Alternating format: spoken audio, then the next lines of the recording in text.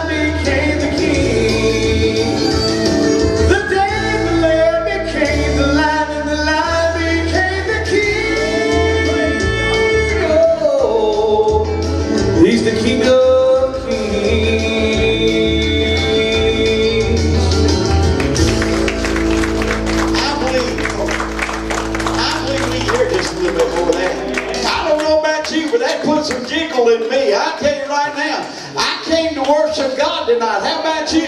You want to hear just a little bit more of that? Obey the Lord.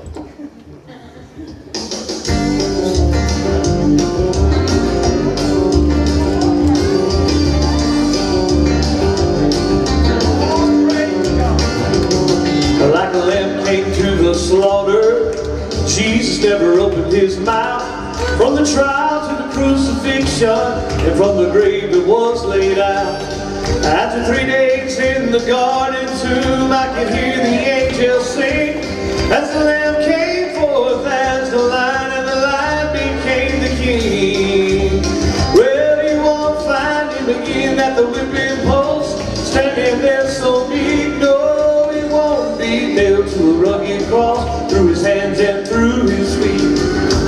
There'll never be another Calvary, cause you don't have to prove one thing.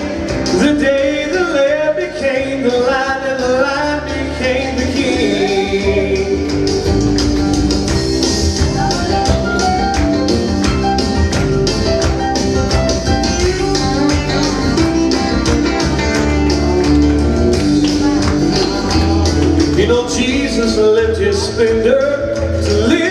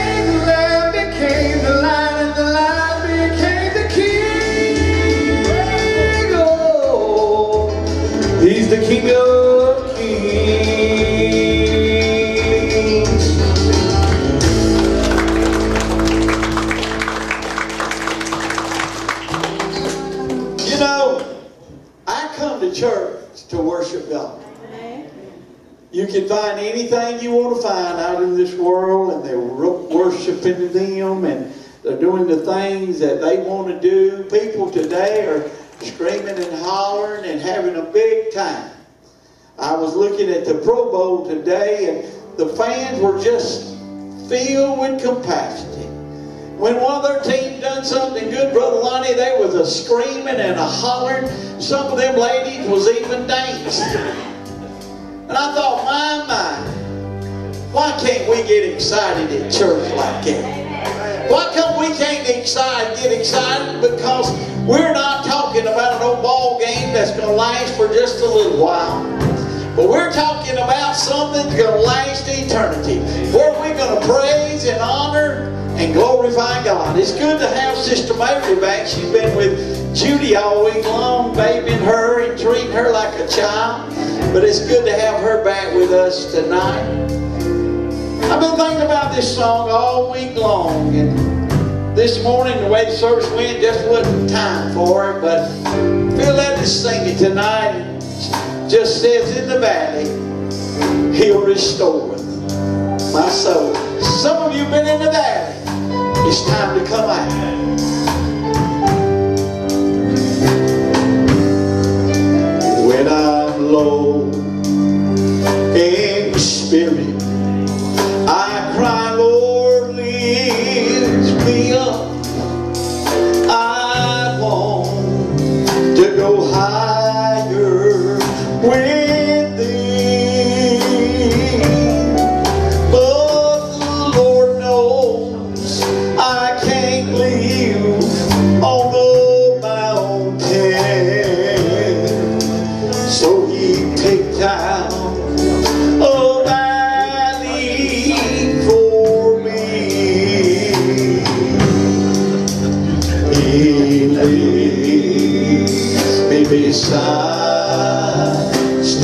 water.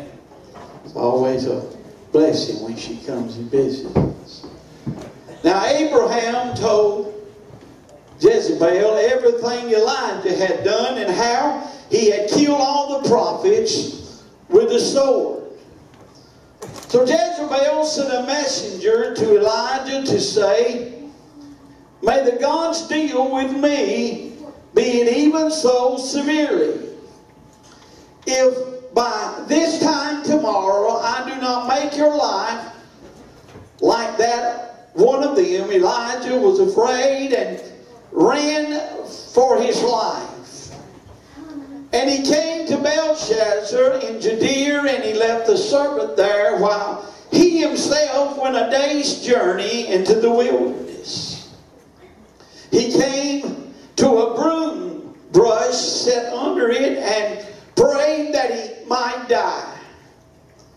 I've had enough, Lord, he said. Take my life. I'm no better than my ancestors. Then he lay down under the bush and fell asleep. And all at once an angel touched him and said, Get up and eat.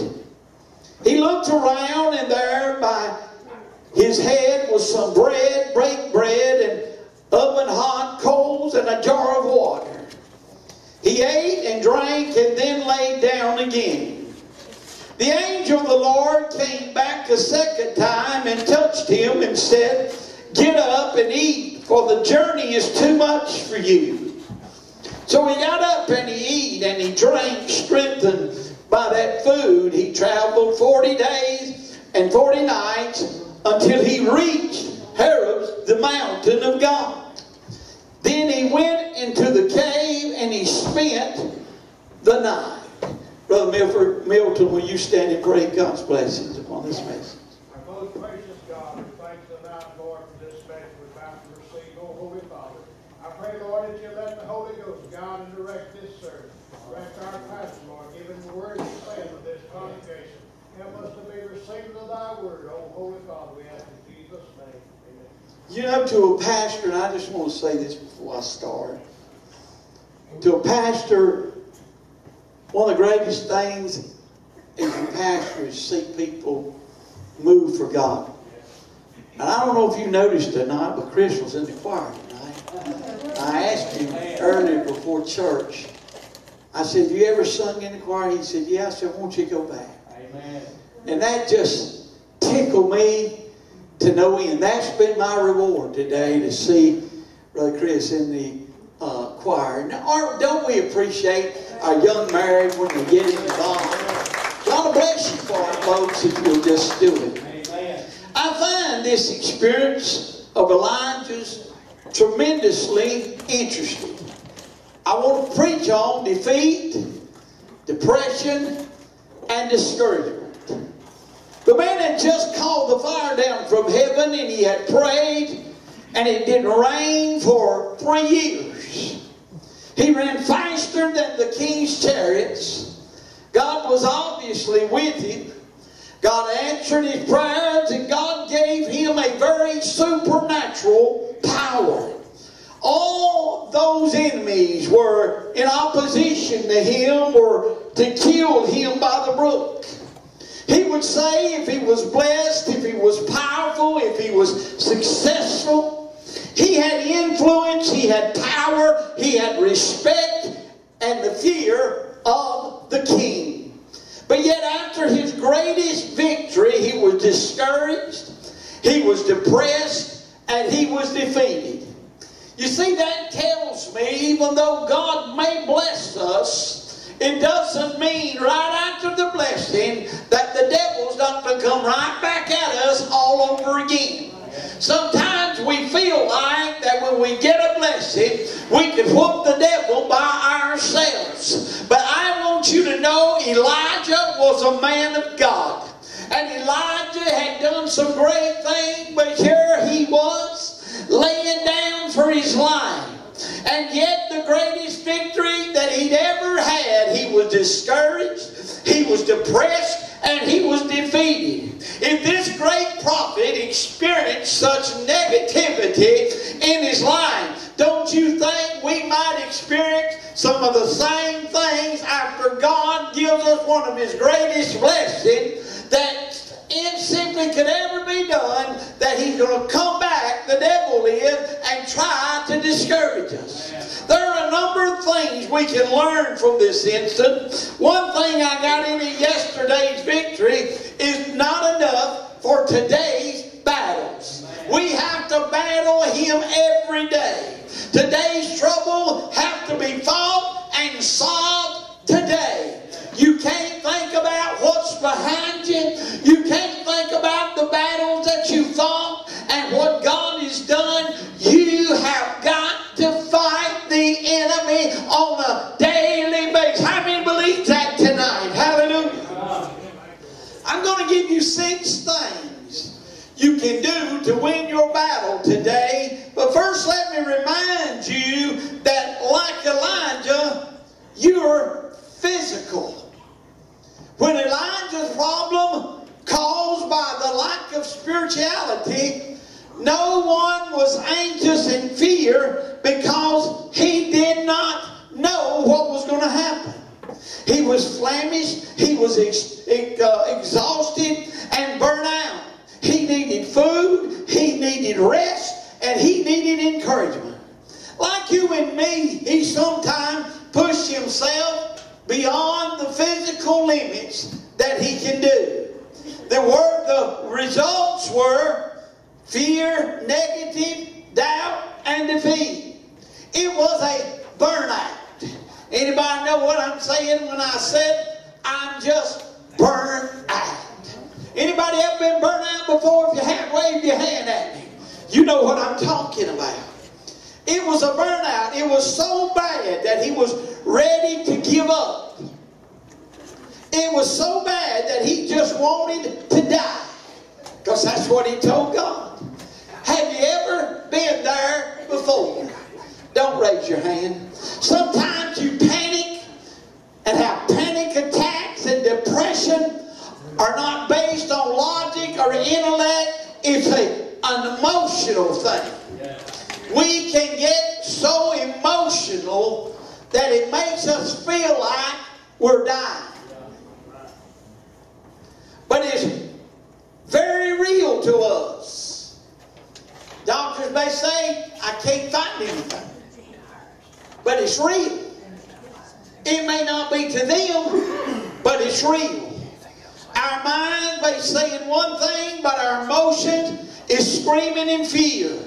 The fear may be something we don't understand, but it's real.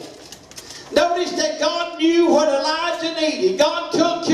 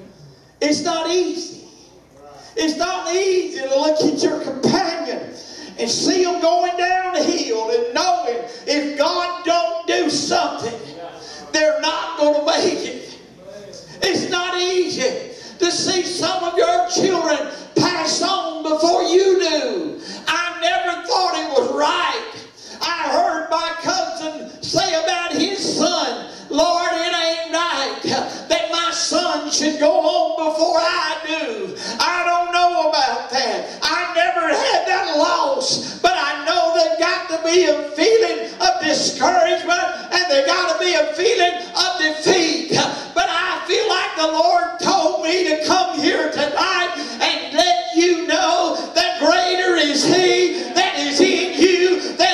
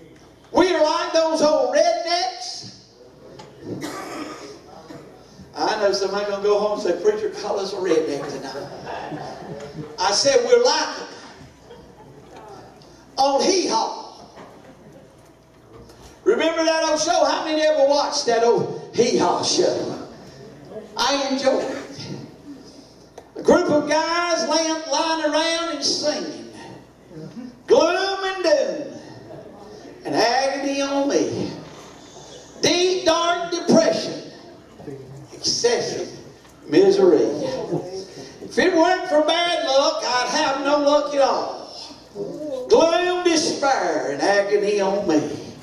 Then they would wall around their misfortune and their bad looks. We get hit with depression and anxiety and discouragement at times, and we're perfectly normal. Nothing wrong with us, but we don't have to stay there and water in it. But we are depending like Elijah. It isn't fun. It isn't fun to be around when you like that. You don't want to be around nobody and you don't want nobody to be around you. First get some rest, get some nourishment, take your medication if you need it, take your physical need. When you think you're not thinking straight,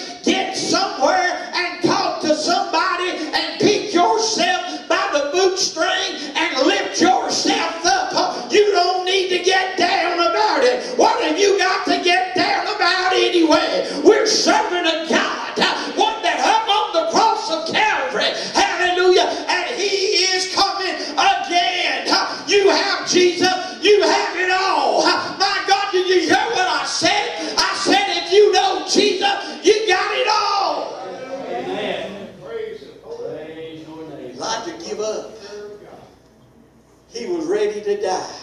Yes. Brother Keith, he wanted to die. What was the first thing you did on the road to recovery? He slept. Sometimes not getting enough rest will cause you to get defeated. Oh, preacher, we didn't come for medical exam tonight. But he slept. He got his rest. When he woke up, God sent an angel to touch him and to feed him. And the angel encouraged him and directed him. First, you need to get physical. That may be your need too. You may need to be have a little sunshine come into your life. Hang in there. God's still on the throne. Secondly, get into God's Word and read what thus saith the Word of God. When you're down, things seem hopeless. We need hope. How do we get that hope? Let's see what the Bible says. Romans 5 and 15 and 4 said, For whatsoever thing was written aforetime was written for our learning, that we may, through patience and comfort of the Spirit, might have hope. We get hope from the encouragement we receive by reading God's promises in His Word. After we get the rest we need, and we need to be reminded ourselves of God's promises. Third, give thanks. That seems like just a simple thing, but it's a huge thing when it comes to God. Amen. Sometimes we wait to Thanksgiving to thank the Lord for what He's done. Thanksgiving ought to be every day of our lives. You can feel joy or love or any really good thing if you'll just be thankful. The Word says in Ephesians 5 and 20, always give thanks to God the Father for everything in the name of our Lord Jesus Christ. Sometimes, husbands, we need to thank God for our wives. Amen. Sometimes the wives need to thank God for her husband. Sometimes you don't know what you got until you ain't got it no more. Come on. It's not only with humans and husbands and wives, what I'm talking about, uh, just in things that we have in general. I've seen people lower rate their husbands and their wives and say the worst thing in the world. Then when they die and they've been gone for five or ten years, they'll come back and say, Oh, miss him so bad, or I miss her so bad. Well, why didn't you tell them when they were leaving Amen. How much you love them and appreciate them. First Thessalonians 5 and 8 said, Give thanks in all circumstances. What's that mean? How many circumstances do we have in one day in our life? But he said, Give thanks for it. If you're depressed, disgusted, or down, Maybe you need to look at things a little different. Instead of focusing everything on the depression and your fear, give thanks, your blessing. It will change your life when you get thankful for what you have. Turn to somebody that's sat beside you tonight and say, I'm thankful for you.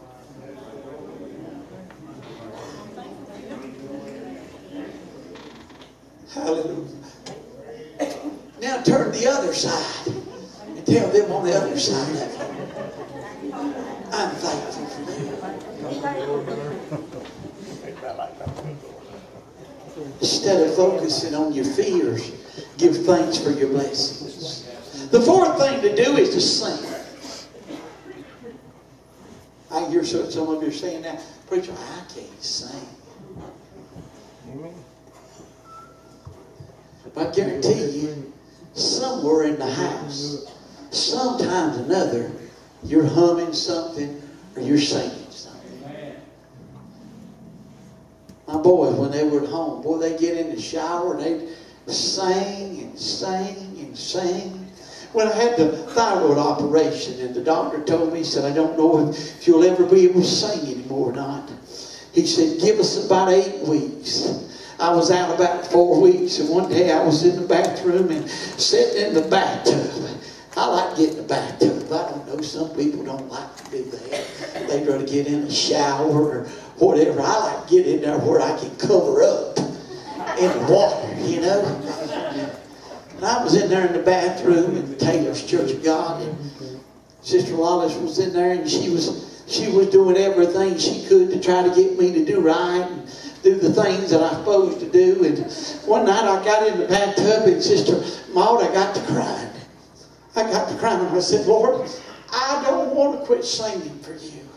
I don't want to quit preaching for you. I don't know what my, what's going to be the outline or what's going to happen to me down the road, but I just can't.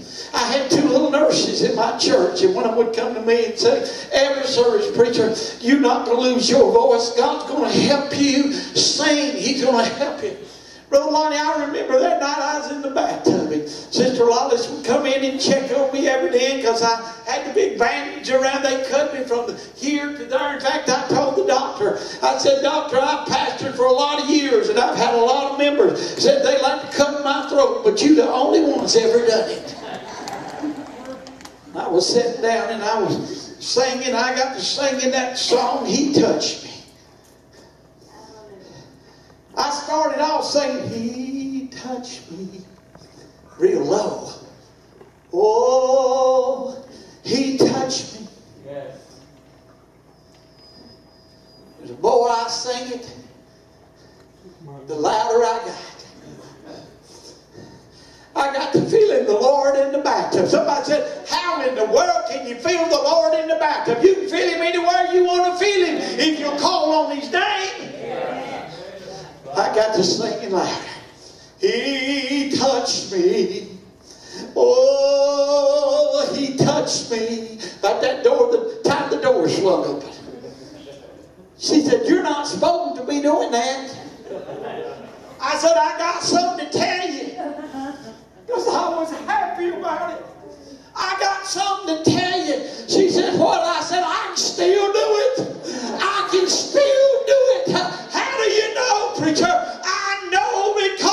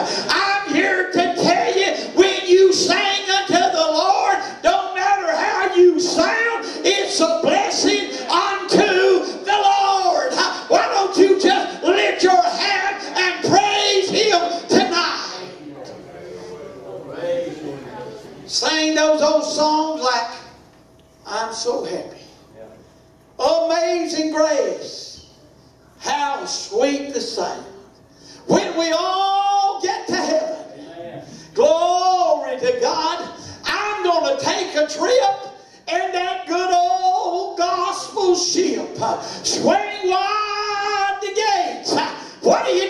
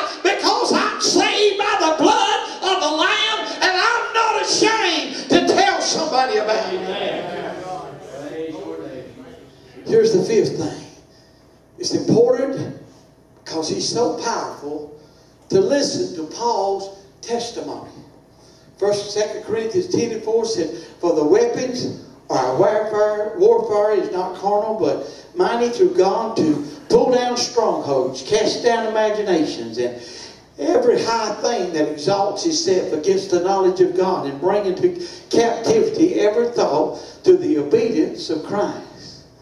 Did you get the key to divine power? Did you see how to destroy the strongholds of the devil? In the book, How to Win Friends and Influence, people is talking about how all the bad guys of his time, from Al Capone to John Dillinger and many more, considered themselves good guys who were simply misunderstood. But there was another one that pointed out the thoughts on the wrong thing. They meditated on wrong things. They let their thoughts and their emotions control them. And we must be meditating on the right things.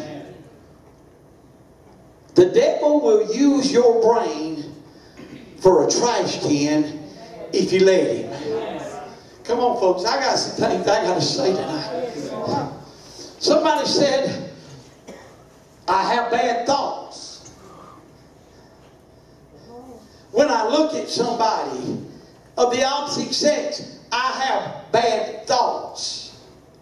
First of all, you're not sanctified. Because the Bible teaches us that sanctification will cleanse our minds and our hearts. Now, sanctification is not preached the way I believe it ought to be preached in a lot of these denominational churches today. I believe a person's got to be saved first, and that's where they, they, they ask God to forgive them of their sin. And I'm not going to get through here tonight, but that's when they ask God to forgive them of their sin.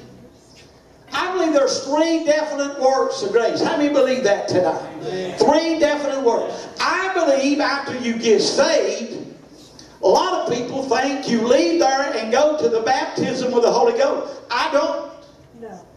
I don't believe that. If you believe that, I, you can keep it to yourself. I'm not saying you're wrong. I'm just telling you I'm right. I believe in three definite works of grace. I believe in a person being saved. Then I believe they got to pray till they get sanctified. Amen. Sanctification is a cleansing process.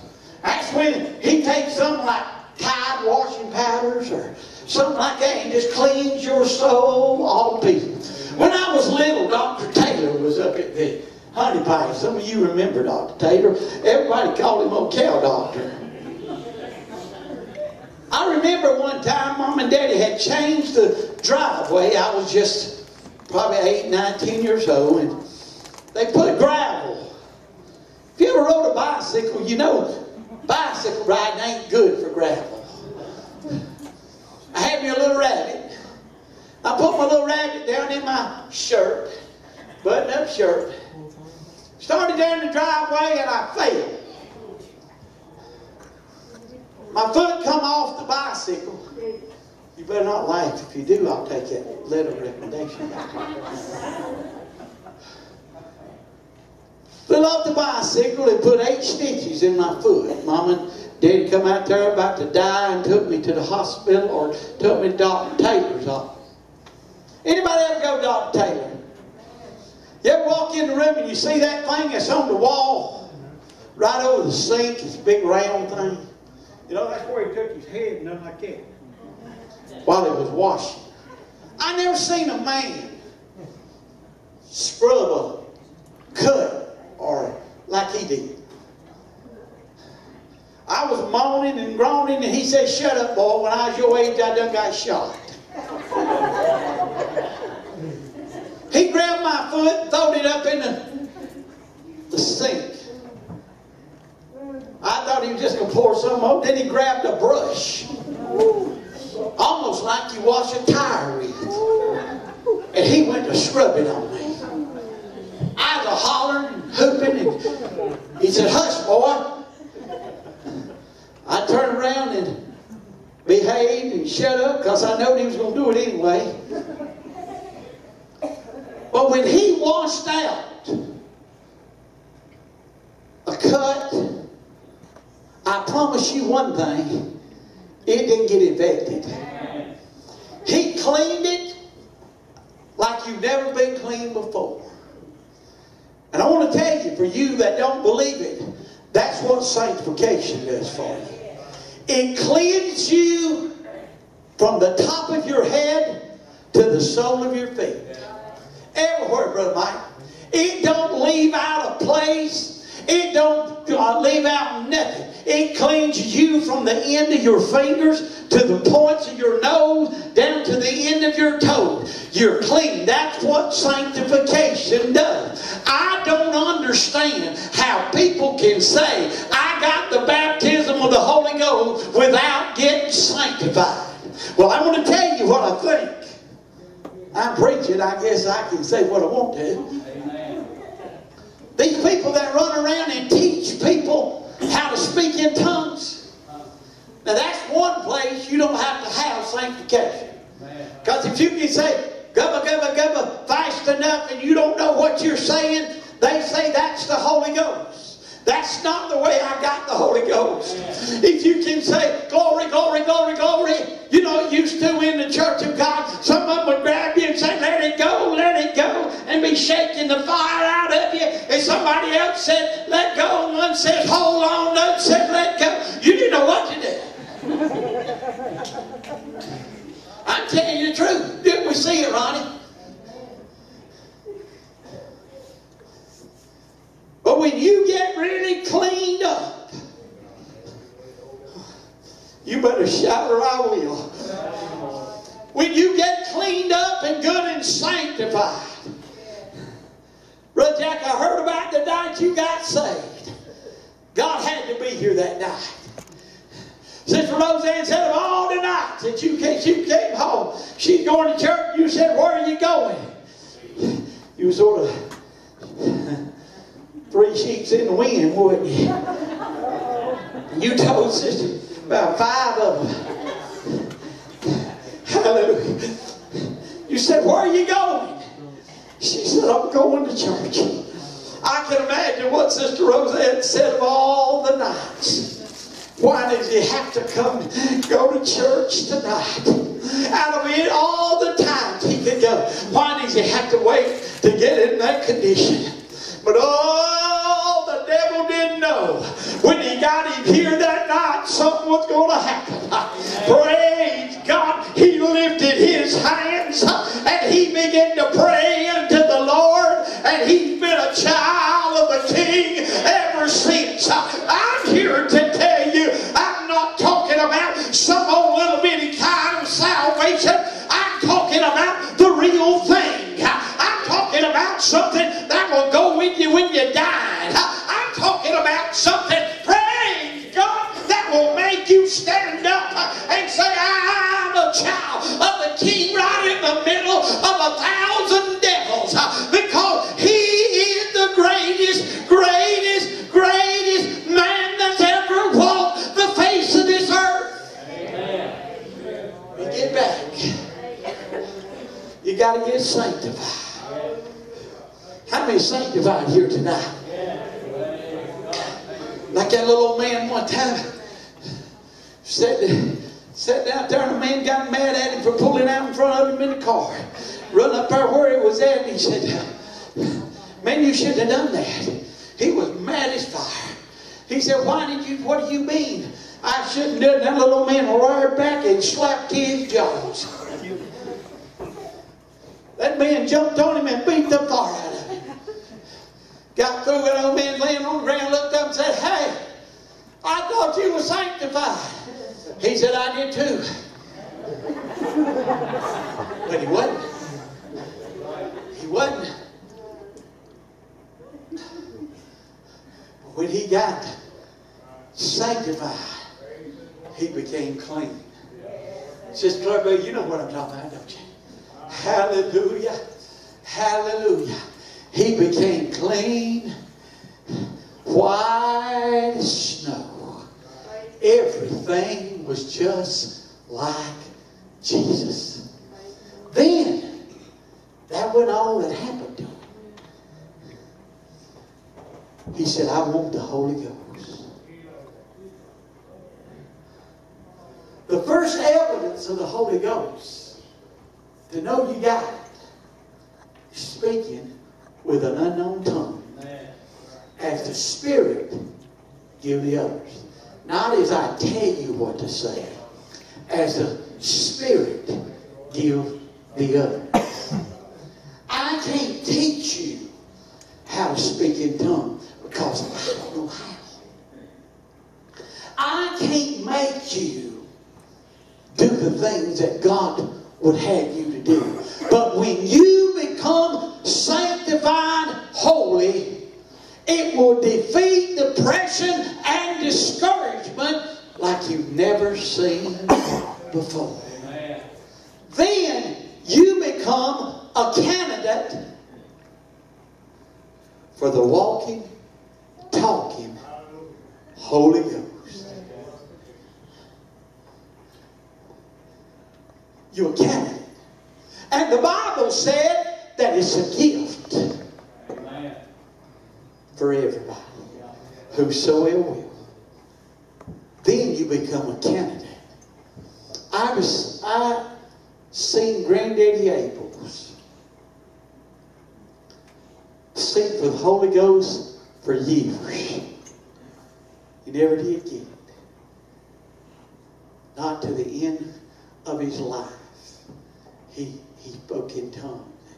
He was, but he said, you know, if I'd only known how to receive it.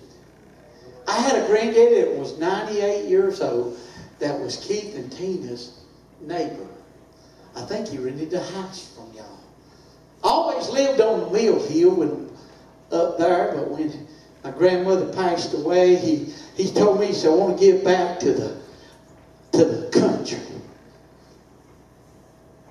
He was not a person that would run around here and run up the aisles, but you just see him every day and do a jerk and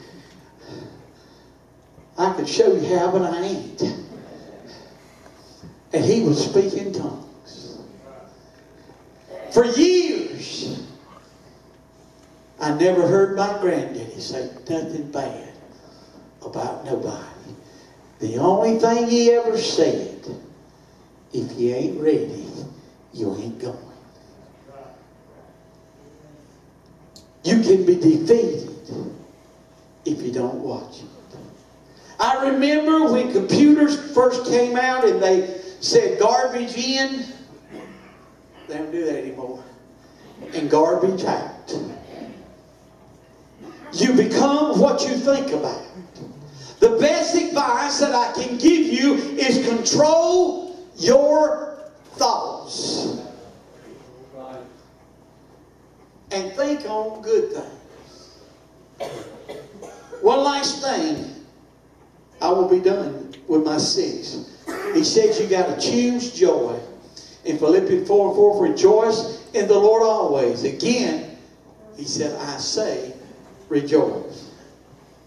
We think it's an emotion, but it isn't. Happiness depends on happiness. But joy is a choice. You can have joy. We can find joy even in tribulation. The apostles sung songs and prayed to God when they were in prison. Amen. We won't do that. Because if we get down, we get defeated, we get depressed, and we get discouraged. You know, I found out through the years as pastoring in churches, everybody's different. Some are like Job. They can take almost anything. And they'll keep right on going. Some stump their big toe. they're ready to give up. And don't serve God anymore. There have been so many people that's had bad luck that blamed God. And there's no sense in it because He's not the problem.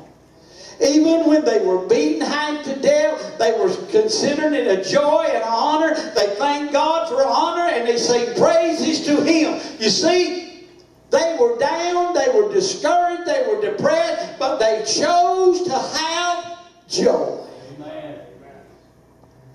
Do you know? What you choose to have is up to you.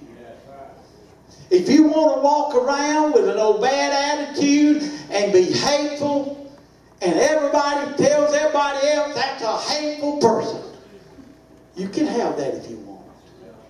That's your choice. Or you can be joy and have joy that's unspeakable and full of glory. But that's your choice. I have to use her tonight because I keep going back to Sister Mary. We uh, went to the hospital with Sister Judy, and Judy and Mary was late. We were sitting there waiting on them, but they were late as usual. We were sitting there when they come in. But they didn't seem to mind much. They were just giggling and laughing and having a good time. Every time you see Sister Mary, she's laughing. If she's talking to you about something that's serious, it won't be but a little bit, she'll go to laughing. That's a choice she uses to have joy. Don't you know it's a lot better thing to be joyous? Some things in this life, Brother Keith, we can't change. People's attitude, we can't change. Well, honey, I bet you see a lot of attitudes on your job. But you can't change. You can talk to them and do everything you can, but you're not going to change them. They're going to be the same way when you leave. That's just the world we live in. But I'm here to tell you, for the same God, there's a way that seemeth right, but in the end, the Bible says there's destruction. You and I need to make up in our minds right now that we're not going to be defeated. We're not going to get in depression. And we're not going to be depressed. But we're going to hold on to the unchanging hand of God. And regardless of what comes our way, we're going to hold on to it. I feel led of God tonight. There's people in this congregation that you've been defeated or you feel like you have. You've been in depression. Things seem to hit you left and right and you don't know which way to go. Listen, sometimes we think that we're the only ones that has any problem. We're the only ones that get depressed. We're the only one that gets discouraged. Our family's the only one that the devil jumps onto. Our car is the only car that ever turns up. And our the only house that ever stops, starts leaking. And all these things, the bad things that the devil wants to do to you. We think about that and we say, we're disgusted, we're defeated, we don't know what to do. But I want to tell you, you're not the Lone Ranger. It happens to everybody. But when it does, we need to band together and pray and seek the Lord. We've all been discouraged. Do you think for the last three years, when my wife's been sick and we'd have to bring her in, she'd have a seizure and we'd have to take her back out, do you think that didn't discourage me? There was times that I felt like that maybe I ought to not even preach. That I ought to just give up and go home. But I'd go back to the house and I'd pray. And God said, wait on me. Wait on me. How many times and how many of you, by the showing of hands, that you've had to wait on God many times? Would you just lift your hand up and praise Him if you have? Then you know what I'm talking about. Musicians, come back and help me get stopped. I don't want to be defeated. I don't want to be discouraged. I don't want to be depressed. You've got nothing to be depressed about. Most of you have everything you want. You all remember when they had these old wringer washing machines. Anybody remember those? You know, you had to take it, pull it through that thing, turn that wheel. You remember those?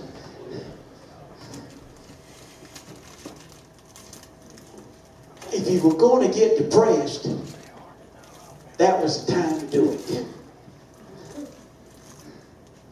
But now, you got these washing machines where you just mash a button, go off and leave them.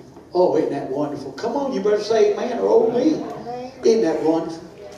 You let them things wash for about 45 minutes or an hour. Go back in there, Sister Maud, and you grab them things out of there and you throw them in another. You don't have to hang them out on the line. You don't have to do anything. You just go back in there and they just fluffy, dry as they can be. Have to go and get an old horse and put it on the front of a buggy. Smell that thing going up the road. All the other things you have to contend with. You go get in your car and you turn that switch. Ooh, don't that sound like music to your ear? You ladies that don't like to cook. You can get with your husband and go out here. Restaurants on every corner. I remember a time when my grandmother cooked every meal. Everywhere. We didn't go out and eat. Not even to McDonald's. And they didn't have the dollar menus back then either. She'd get in there and cook for her family. She might have had steaks, always had chicken, or may not have that. But boy, she could cook up something. And make a plain cake. All these elderly ladies, I think, can make a plain cake. Amen. Then now you younger ladies make plain cakes and you put icing all over it and mess it up. But I remember those days. What have you got to be depressed? Get in that car, turn on the heat when it's cold, turn on the air conditioning when it's hot. Got everything at our disposal. If we want a milkshake, just put it in the blender, the button. But yet, we still complain. Somebody said, Preacher, you making me feel guilty. That's why I'm preaching like this. I hope you do. God's been good to us. He's given you so much. You go walk out in that parking lot tonight, you're going to see all nice cars. You will see everything from a Cadillac to a Ford to a Dodge to a GMC. You're going to see all nice cars. See some hot rods out there. Hot rod with senior citizen, ain't that something?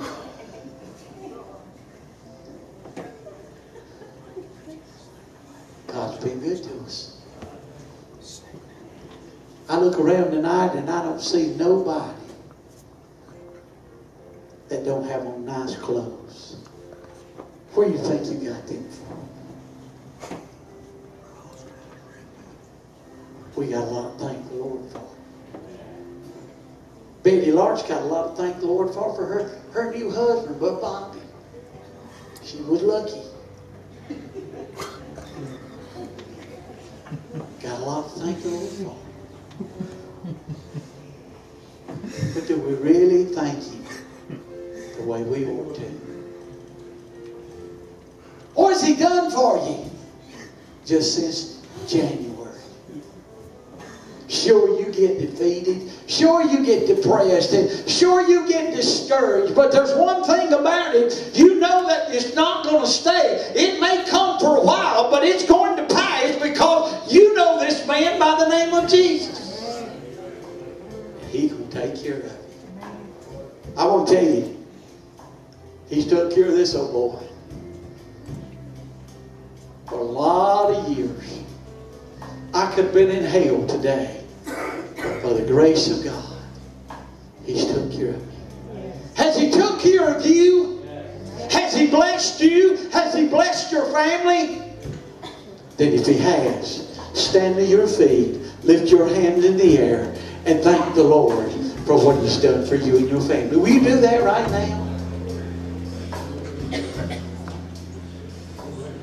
Praise Him. Praise Him. Tonight, we got an awful good crowd here. If there's something in your life that's defeating you, that's discouraging you, that's depressing you, the best way I know to get rid of it is give it to the Lord and let Him take care of it. Tonight, know everything's not all right with all of you. But I know I'm serving a God that's able to take care of you and take care of you in the right way. Tonight, if you want to bring that to the altar,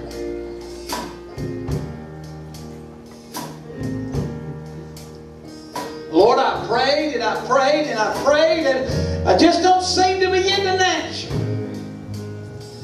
And I need to give it to you tonight. If that's the way you feel, And you need God to help you with it. I want to make this petition to you. Meet me in this altar. If you got a need, if you got a prayer, I want you to come right now in the name of Jesus. Sing when you will.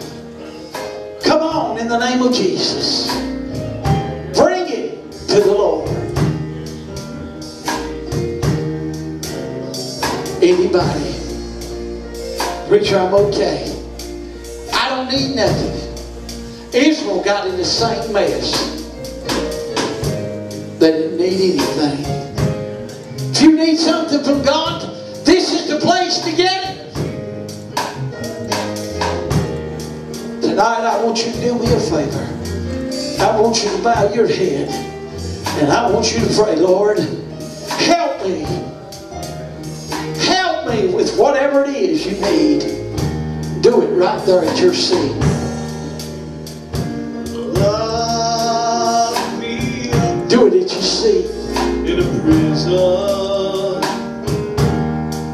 Oh, Lord, help us. Help us, Lord. Help us, Father. God, I can't do it by myself. Take away Take away. the vision Oh, God, help us.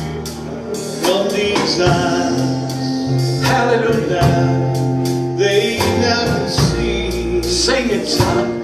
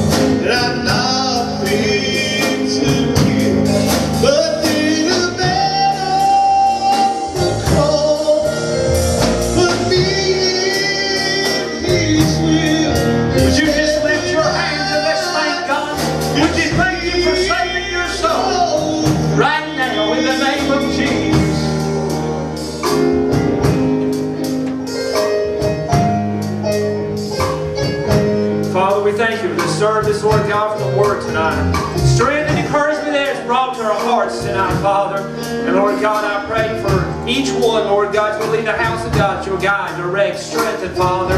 Lord God, we just trust you to take care of us during this upcoming week. In Jesus Christ's precious name.